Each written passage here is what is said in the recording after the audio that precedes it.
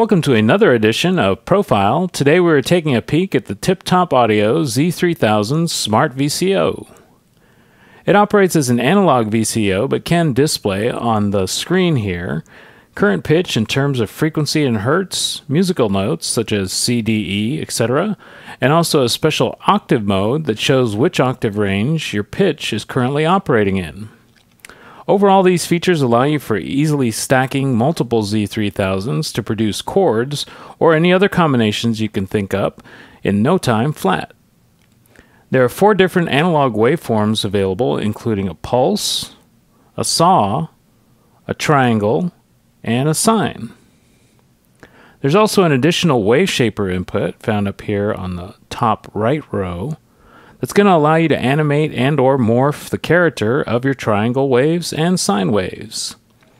The Z3000 is also capable of standard exponential FM via the two inputs here in the center row, FM1, FM2. It's also capable of doing linear FM.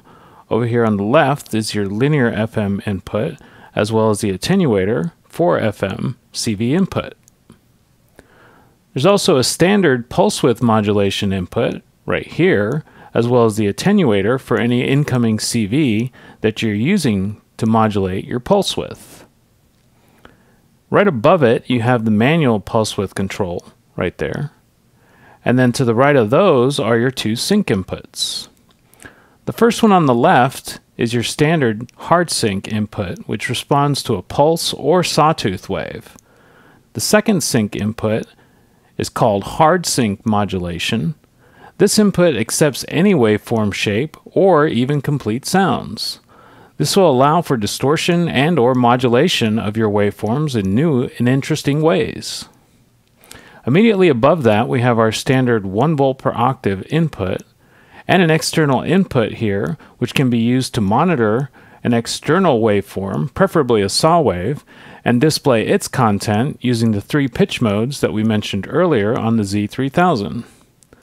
Finally, in the center, you have your push button to control the mode that you're currently in, whether you're viewing frequency, note, or octave, as well as the standard fine tune and coarse tune frequency controls.